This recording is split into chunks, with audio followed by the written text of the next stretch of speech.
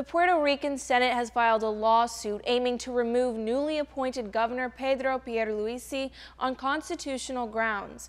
On Monday, the island Supreme Court agreed to vote on the suit and gave all parties until Tuesday to file their paperwork. Pierluisi was appointed Secretary of State by former Governor Ricardo Rosselló, who resigned Friday amid controversy over offensive group chat messages. The island's House of Representatives confirmed Pierluisi as Rosselló's replacement on Friday in a 26 to 21 vote. The Senate was expected to vote on his confirmation Monday, but Pierluisi's promotion was expedited based on Puerto Rico's constitution and a 2005 law that says a Secretary of State does not have to have both chambers' approval to step in as governor. The Senate's lawsuit asked the High Court to declare that 2005 law unconstitutional, which would void Pierluisi's confirmation.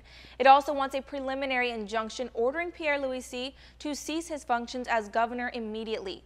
The Senate says Pierluisi's swearing in was invalid because he didn't fully take over the Secretary of State position before Rosselló resigned.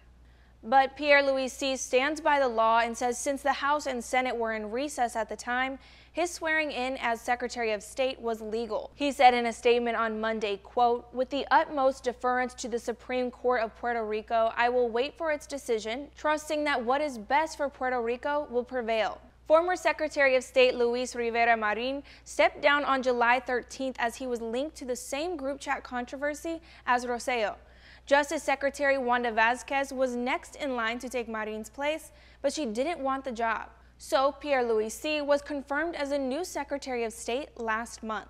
Pierluisi formally gave legal advice to the federally created board supervising Puerto Rico's finances, including its bankruptcy cases. That's made his promotion controversial and unpopular.